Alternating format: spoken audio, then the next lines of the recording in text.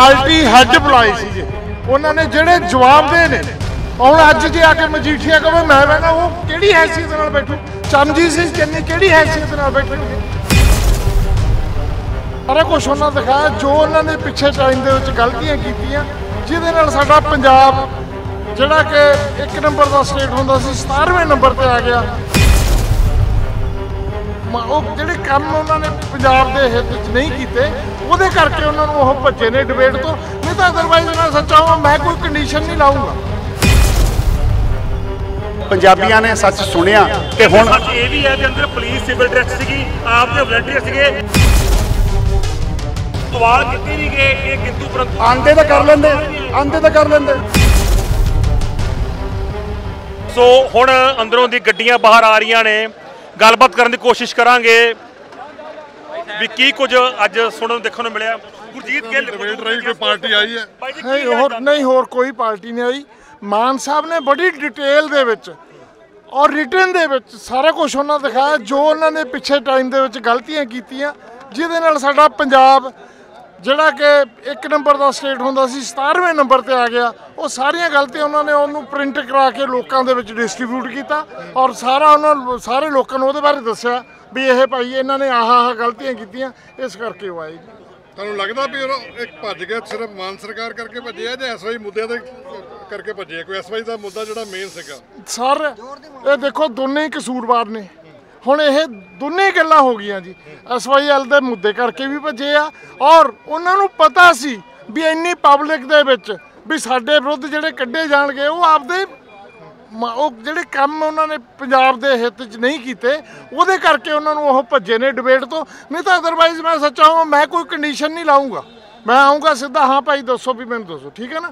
ਔਰ ਇਹ 'ਚ ਕੰਡੀਸ਼ਨਾਂ ਨਾਲ ਨਹੀਂ ਇਹ ਗੱਲਾਂ ਹੁੰਦੀਆਂ ਹੁੰਦੀਆਂ ਇਹ ਤਾਂ ਅਨਕੰਡੀਸ਼ਨਲ ਹੁੰਦਾ ਤੁਸੀਂ ਤੁਸੀਂ ਲੋਕ ਪਤਾ ਲੱਗਾ ਕਹਿੰਦੇ ਆਮ ਆਦਮੀ ਪਾਰਟੀ ਦੇ ਆਪਣੇ ਵਲੰਟੀਅਰ ਅੰਦਰ ਬੈਠੇ ਸੀਗੇ ਸਿਵਲ ਡਰੈਸ ਪੁਲਿਸ ਸੀਗੀ ਬਾਕੀ ਬੰਦੇ ਬਹੁਤ ਘੱਟ ਸੀਗੇ ਪਤਾ ਲੱਗ ਰਿਹਾ। ਨਹੀਂ ਨਹੀਂ ਦੇਖੋ ਜੀ ਇਹ ਇਹ ਤਾਂ ਪਤਾ ਨਹੀਂ ਹੁਣ ਵੀ ਤੁਸੀਂ ਕਿਦੋਂ ਹੁਣ ਮੈਂ ਤਾਂ ਸਾਰਿਆਂ ਨੂੰ ਜਾਣਦਾ ਨਹੀਂ ਹੈਗਾ ਵੀ ਜਿਹੜਾ ਮੈਂ ਕਹਿੰਦਾ ਸਾਰਿਆਂ ਨੂੰ ਖੁੱਲਾ ਸੱਦਾ ਸੀ ਆਮ ਆਦਮੀ ਪਾਰਟੀ ਦੇ ਹਾਂ ਉਹ ਵੀ ਹੋਣਗੇ। ਰਾਜ ਜੀ ਸਾਹਿਬ- ਸਾਹਿਬ ਮੀਡੀਆ ਬਾਹਰ ਬਹਿ ਗਿਆ। ਨਹੀਂ ਮੀਡੀਆ।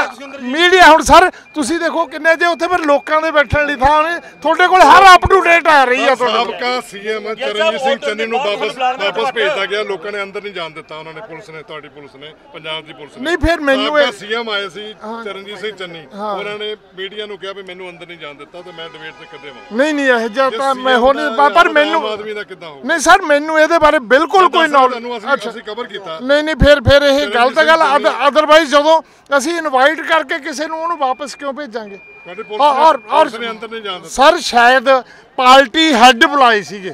ਉਹਨਾਂ ਨੇ ਜਿਹੜੇ ਜਵਾਬ ਦੇ ਨੇ ਹੁਣ ਅੱਜ ਜੇ ਆ ਕੇ ਮਜੀਠੀਆ ਕਹੇ ਮੈਂ ਬਹਿਣਾ ਉਹ ਕਿਹੜੀ ਹੈਸੀਅਤ ਨਾਲ ਬੈਠੂ? ਚਰਨਜੀਤ ਸਿੰਘ ਚੰਨੀ ਕਿਹੜੀ ਹੈਸੀਅਤ ਨਾਲ ਬੈਠਣਗੇ? ਕੋਈ ਜਿਹੜੇ ਜਵਾਬ ਦੇ ਲੋਕਾਂ ਨੂੰ ਨੇ ਪਾਰਟੀ ਹੈੱਡ ਨੇ ਆਪੋਜੀਸ਼ਨ ਲੀਡਰ ਨੇ ਜਿਨ੍ਹਾਂ ਨੂੰ ਉਹਨਾਂ ਨੇ ਇਨਵਾਈਟ ਕੀਤਾ ਸੀ ਉਹੀ ਆਉਣਗੇ ਨਾ ਸਰ। ਇਹ ਤਾਂ ਹੈ ਨਹੀਂ ਕਿ ਵੀ ਕੋਈ ਮੈਂ ਵੀ ਕਹਾਂ ਮੈਨੂੰ ਕਿਉਂ ਆਪਰੋ ਕੁਝ ਸੀਐਮ ਰਹੇ ਨੇ ਉਹਨਾਂ ਦੀ ਕੁਛ ਤਾਂ ਨਹੀਂ ਸਰ ਚਲੋ ਕੁਝ ਵੀ ਹੋਊਗਾ ਸ਼ਾਇਦ ਸੱਦਾ ਪੱਤਰ ਉਹਨਾਂ ਨੂੰ ਨਹੀਂ ਦਿੱਤਾ ਸੱਦਾ ਪੱਤਰ ਪਾਸੇ ਇਨਵਾਈਟ ਇੱਕ ਪਾਸੇ ਖੁੱਲਾ ਸੱਦਾ ਇਹ ਦੋ ਗੱਲਾਂ ਮੈਚ ਨਹੀਂ ਨਹੀਂ ਕਰਦੀਆਂ ਇਨਵਾਈਟ ਤਾਂ ਸਰ ਉਹਨਾਂ ਨੂੰ ਕੀਤਾ ਜਿਨ੍ਹਾਂ ਨਾਲ ਡਿਬੇਟ ਕਰਨੀ ਸੀ। ਲੋਕਾਂ ਨੂੰ ਦੇਖਣ ਲਈ ਖੁੱਲਾ ਸੱਦਾ ਦਿੱਤਾ। ਲੋਕਾਂ ਨੂੰ ਦੇਖਣ ਲਈ ਸੁਣ ਮਾਨ ਸਾਹਿਬ ਲਈ ਨੇ ਸਪੈਸ਼ਲ ਕਿਹਾ ਵੀ ਐਸਵਾਈਐਲ ਦੀ ਜਗ੍ਹਾ ਜੇ 22ਐਸਐਲ ਬਣਾਤਾ ਜਾਵੇ ਤਾਂ ਫਿਰ ਜਮਨਾ ਦੇ ਵਿੱਚ ਪਾਣੀ ਬਿਲਕੁਲ। ਨਹੀਂ ਹੈਗਾ। ਇਹ ਲੋਕਾਂ ਨੂੰ ਮਨਜ਼ੂਰ ਹੋਊਗਾ ਪੰਜਾਬ ਦੇ ਲੋਕਾਂ ਨੂੰ? ਸਰ ਲੋਕਾਂ ਨੇ ਅੰਬ ਖਾਣੇ ਆ ਕਿ ਦਰਖਤ ਗਿਣਨੇ ਸਰ ਪਾਣੀ ਚਾਹੀਦਾ ਸਾਨੂੰ ਤਾਂ। ਪਾਣੀ ਹਰਿਆਣੇ ਨੂੰ ਵੀ ਚਾਹੀਦਾ ਸਾਨੂੰ ਵੀ ਚਾਹੀਦਾ ਜੀ। ਕਿਉਂ ਤੁਸੀਂ ਦੇਖ ਲਓ ਪਾਣੀ ਵਾਟਰ ਲੈਵਲ 500 ਫੁੱਟ ਤੇ ਚਲੇ ਗਿਆ। ਔਰ ਸਾਡਾ ਜਿਹੜਾ ਸਤਲੁਜ ਦੇ ਵਿੱਚੋਂ ਜਿੱਥੋਂ ਇਹ ਪਾਣੀ ਮੰਗ ਰਹੇ ਆ ਸਰ ਤੁਸੀਂ ਇੱਥੋਂ ਦੇ ਰਹਿਣ ਵਾਲੇ ਹੋ ਲੋਕਲ ਆ ਆਪਾਂ ਤਾਂ। ਆਪਾਂ ਕਦੇ ਦੇਖਿਆ ਉਹਦੇ ਵਿੱਚ ਕਦੇ ਥੋੜੇ ਜਿਹੇ ਪਸਾਂ ਤੋਂ ਬਾਕੀ ਪਾਣੀ ਚੱਲਦਾ ਹੋਵੇ। ਔਰ ਉਹਨਾਂ ਦਾ ਬਹੁਤ ਵਧੀਆ ਸੁਝਾਅ ਆ ਜਿਹੜਾ ਉਹ ਇੰਨੇ ਹੜ੍ਹ ਲਿਆਉਂਦੀ ਆ ਤਬਾਹੀ ਮਚਾਉਂਦੀ ਆ ਬੰਗਾਲ ਤੱਕ।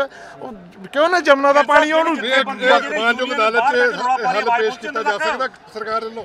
ਦੇਖੋ ਇਹਨਾਂ ਨੇ ਤਾਂ ਮੈਨੂੰ ਤਾਂ ਦੇਖੋ ਅਦਾਲਤੀ ਦੇ ਬਾਰੇ ਮੈਨੂੰ ਪਤਾ ਪਤਾ ਨਹੀਂਗਾ ਹਾਂ ਇਹ ਹੋ ਸਕਦਾ ਵਾ ਜਿਵੇਂ ਉਹਨਾਂ ਨੇ ਵੀ ਜਿਹੜੇ ਹਾਂ ਜਿਵੇਂ ਮਾਨ ਸਾਹਿਬ ਨੇ ਅੱਜ ਦੋ ਚਿੱਠੀਆਂ ਦਿਖਾਈਆਂ ਵੀ ਜਦੋਂ ਵੀ ਅਸੀਂ ਉਹਨੂੰ ਆਪਣੇ ਰਾਜਸਥਾਨ ਨੂੰ ਕਿਹਾ ਵੀ ਪਾਣੀ ਚਾਹੀਦਾ ਉਹ ਕਹਿੰਦੇ ਸਾਨੂੰ 2000 ਕਿਊਸਕ ਦੇ ਦਿਓ ਜੀ। ਉਹਨੂੰ ਹਰਿਆਣੇ ਨੂੰ ਪੁੱਛਿਆ ਉਹ ਕਹਿੰਦੇ। ਅਸੀਂ ਕਿਹਾ ਬਾਕੀ ਤੁਹਾਡਾ ਬਾਕੀ ਜਿਹੜਾ 18000 ਕਿਊਸਕ ਉਹ ਅਸੀਂ ਅਸੀਂ ਡੁੱਬਣ ਲਈ ਹੋਈ ਆ। ਮਾਨ ਸਾਹਿਬ ਨੇ ਉਹਨਾਂ ਤੋਂ ਰਿਟਰਨ ਚ ਲਿਆ ਵੀ ਸਾਨੂੰ ਇੰਨਾ ਹੀ ਪਾਣੀ ਚਾਹੀਦਾ। ਇਹਦਾ ਮਤਲਬ ਵੀ ਉਹ ਬਾਕੀ ਨੂੰ ਨਾ ਕਰੀ ਜਾਂਦੇ ਆ ਵੀ ਨਾ ਸਾਨੂੰ ਹੋਰ ਨਾ ਦਿਓ। ਬਾਕੀ ਸਰ ਪਾਣੀ ਤਾਂ ਪਿੱਛੋਂ ਆਈ ਜਾ ਰਿਹਾ ਨਾ। ਇਹਦਾ ਮਤਲਬ ਪੰਜਾਬ ਡੁੱਬਣ ਲਈ ਹੋਈ ਆ। ਇਹਦੇ ਬੇ ਉਹ ਉਹ ਪਾਣੀ ਤੋਂ ਰਿਫਿਊਜ਼ ਜਦੋਂ ਉਹਨਾਂ ਨੂੰ ਕਹਿੰਦੇ ਵੀ ਸਾਡੇ ਕੋਲੇ ਪਾਣੀ ਵਾਧੂ ਆ ਗਿਆ ਸਰ ਛੱਡੋ ਇਧਰ ਨੂੰ। ਉਹ ਰਿਫਿਊਜ਼ ਕਰ ਦਿੰਦੇ ਆ। ਹਰਿਆਣੇ ਨੇ ਰਿਫਿਊਜ਼ ਕਰਤਾ। ਉਹਨਾਂ ਕੋਲ ਚਿੱਠੀਆਂ ਰਿਟਰਨ 'ਚ ਲੈ ਕੇ ਬੈਠੇ ਸੀਗੇ ਵੀ ਹਰਿਆਣਾ ਸਰਕਾਰ ਉਹ ਕਹਿੰਦੇ ਵੀ ਮੈਂ ਕੀ ਇਹਨਾਂ ਦਾ ਵਰਬਲੀ ਨੂੰ ਮੈਂ ਇਹਨਾਂ ਤੋਂ ਰਿਟਰਨ 'ਚ ਲੈਣਾ ਉਹਨੇ ਰਿਟਰਨ ਦਿੱਤੀਆਂ। ਉਹ ਕਹਿੰਦੇ ਮੈਂ ਇਹਦੇ ਇਹ ਚਿੱਠੀਆਂ ਸੁਪਰੀਮ ਕੋਰਟ ਦੇ ਵਿੱਚ ਮੈਂ ਜਾ ਕੇ ਦਿਖਾਊਂਗਾ ਸਰ ਵੀ ਉਹਨਾਂ ਨੂੰ ਇੰਨੇ ਪਾਣੀ ਦੀ ਲੋੜ ਨਹੀਂ ਵੀ ਤੁਸੀਂ ਇੰਨਾ ਕਿਉਂ ਲਾਸਟ ਜਿਹੜਾ ਮਾਨਯੋਗ ਅਦਾਲਤ ਨੇ ਹੁਣ ਜਿਹੜੇ ਨਿਰਦੇਸ਼ ਦਿੱਤੇ ਆ ਉਹਦੇ ਮੁਤਾਬਕ ਸਰਕਾਰ ਕੀ ਫੈਸਲਾ ਕਰ ਰਹੀ ਹੈ? ਸਰ- ਨਹਿਰ ਬਣੂ ਬਣੂ ਨਹੁੰ ਬਣੂ ਜੇ ਬਣੂਗੀ ਤਾਂ ਫਿਰ ਪਾਣੀ ਵੀ ਦੇਣਾ ਪੈਣਾ। ਨਹੀਂ ਨਹੀਂ ਸਰ ਬਈ ਇਹਦੇ ਬਾਰੇ ਦੇਖੋ ਮੈਂ ਐਵੇਂ ਕਹਿਦਾ ਸੋ ਨਾਲ ਗੱਲਬਾਤ ਕਰਾਂਗੇ ਸਪੋਰਟਸ ਪਰਸਨ ਨੇ ਬਾਪ ਗਰੇਲ ਨਾਲ ਮੌਜੂਦ ਨੇ। ਇਹ ਬਾਪ ਬਾਈ ਜੀ ਕਿਵੇਂ ਦਾ ਰਿਹਾ? ਨਟਸ਼ੈਲ ਚ ਇੱਕ ਮਿੰਟ ਕਲੀਅਰ ਕਰੋ। ਸੱਚ ਮੂਰੇ ਆਇਆ ਸੱਚ ਮੂਰੇ ਆਇਆ। ਪੰਜਾਬੀਆਂ ਨੇ ਸੱਚ ਸੁਣਿਆ ਤੇ ਹੁਣ ਸੱਚ ਇਹ ਵੀ ਹੈ ਵੀ ਅੰਦਰ ਪੁਲਿਸ ਸਿਵਲ ਡਰੈਸ ਸੀਗੀ ਆਪ ਦੇ ਵਲੰਟੀਅਰ ਸੀਗੇ ਆਮ ਬਾਹਰ ਦਾ ਓਪਨ ਵਾਲਾ ਬੰਦਾ ਕੋਈ ਨਹੀਂ ਸੀ। ਇਹ ਫੀਡ ਬੇਦੀ ਸਾਹਿਬ ਤੁਸੀਂ ਸਾਡੀ ਪਾਰਟੀ ਨਾਲ ਜੁੜੇ ਹੋਏ ਸੀ। ਤੁਸੀਂ ਸਾਰੇ ਬੰਦਿਆਂ ਨੂੰ ਸ਼ਕਲੋਂ ਪਛਾਣਦੇ ਹੋ। ਲਾਈਵ ਫੀਡ ਆ ਰਹੀ ਸੀ। ਲਓ ਕੱਢ ਦਿਓ ਦੱਸੋ ਕਿੰਨੇ ਬੰਦੇ। ਤੁਸੀਂ ਤਾਂ ਸਾਡੇ ਤੋਂ ਵੱਧ ਜਾਣਦੇ ਹੋ। ਤੁਸੀਂ ਪਾਰਟੀ ਵਾਲਿਆਂ ਦੀ ਸ਼ਕਲਾਂ ਨਹੀਂ ਪਛਾਣਦੇ। ਦੇਖ ਲੈਂਦੇ ਲਾਈਵ ਫੀਡ ਲਾਈਵ ਫੀਡ ਦੇਖ ਲਓ ਆਮ ਬੰਦੇ ਬੈਠੇ ਸੀ। ਕਹਿੰਦੇ ਸਵਾਲ ਕਿਤੇ ਨਹੀਂ ਗਏ ਕਿ ਕਿੰਤੂ ਪਰੰਤੂ ਆਂਦੇ ਤਾਂ ਕਰ ਲੈਂਦੇ।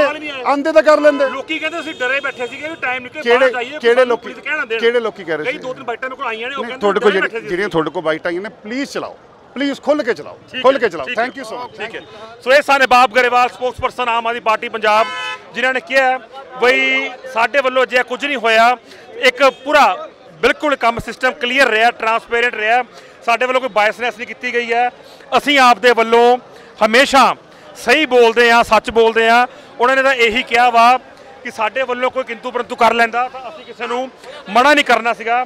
ਅਸੀਂ ਹਰ ਤਰ੍ਹਾਂ ਦੇ ਸਵਾਲਾਂ ਦੇ ਜਵਾਬ ਦੇਣ ਨੂੰ ਤਿਆਰ ਸੀਗੇ। ਸਾਨੂੰ ਸਵਾਲ ਹੋਏ ਨਹੀਂ। ਉਹਨਾਂ ਦਾ ਇਹ ਵੀ ਕਹਿਣਾ ਕਿ ਕੋਈ ਪੰਜਾਬ ਪੁਲਿਸ ਸਿਵਲ ਡਰੈਸ ਨਹੀਂ ਸੀਗੀ। ਕੋਈ ਸਾਡੇ ਵਲੰਟੀਅਰ ਨਹੀਂ ਸੀਗੇ, ਬਾਹਰਲੇ ਬੰਦੇ ਵੀ ਸੀਗੇ, ਹੁਣ ਉਹਨਾਂ ਨੇ ਸਾਨੂੰ ਸਵਾਲ ਨਹੀਂ ਕੀਤੇ, ਤਾਂ ਅਸੀਂ ਕੀ ਕਰੀਏ? ਜਾਂ ਇਹਦਾ ਦੂਜਾ ਪੱਖ ਇਹ ਹੋ ਸਕਦਾ ਹੈ ਕਿ ਉਹਨਾਂ 'ਚ ਹਿੰਮਤ ਹੀ ਨਹੀਂ ਪਈ, ਉਹਨਾਂ 'ਚ ਹਿੰਮਤ ਆਉਣ ਨਹੀਂ ਦਿੱਤੀ ਕਿ ਉਹ ਸਵਾਲ ਕਰਦੇ, ਕਿਉਂਕਿ ਸ਼ਾਇਦ ਸਿਰ ਤੇ ਕੋਈ ਪਰਛਾਵਾਂ ਅਜਿਹਾ ਖੜਾ ਸੀਗਾ, ਜਿਸ ਪਰਛਾਵੇਂ ਨੇ ਕਿਸੇ ਨੂੰ ਸਵਾਲ ਕਰਨ ਦੀ ਹਿੰਮਤ ਅੰਦਰੋਂ ਪੈਦਾ ਹੋਣ ਹੀ ਨਹੀਂ ਦਿੱਤੀ। ਕੈਮਰਾਮੈਨ ਅਮਿਤ ਕੁਮਾਰ ਪਾਠਕ ਦੇ ਨਾਲ ਨਵਪ੍ਰੀਤ ਸਿੰਘ ਬੇਦੀ, ਲੁਧਿਆਣਾ ਲਾਈਵ ਨਿਊਜ਼